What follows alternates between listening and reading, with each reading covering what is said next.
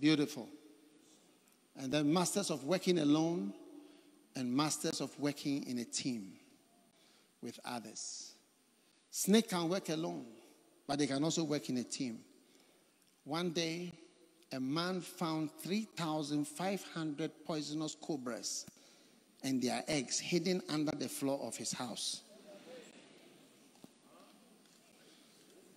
Huh?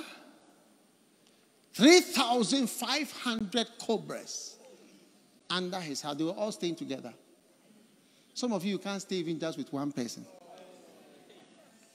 But they were able to stay together, sharing the space. Wow. Is there anybody here who is quarreling with anybody?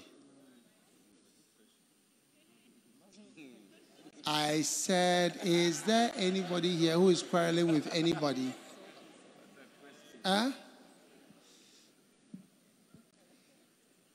Leave it today. You are going to stay peacefully. Yes, beautifully. And also, they can stay alone and work. This year, you know how to stay in a room alone and pray. Yes. I can stay alone for a whole week if necessary.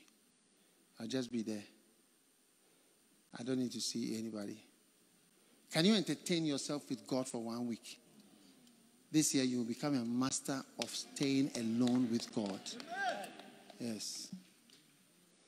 It's worth it. When Bishop Oyedepo said he went to the mountain to discover the secret of Ezekiel, without a roof, without anything, he was just there praying to discover the secret of the secret that are in Ezekiel that made Ezekiel powerful. Alone. Can you do that? Can you sleep just in the presence of God? You are sleeping, you're just in His presence. It's also an experience to sleep in His presence. You'll be sleeping there this year. In the mighty name of Jesus Christ. Stand to your feet, everybody.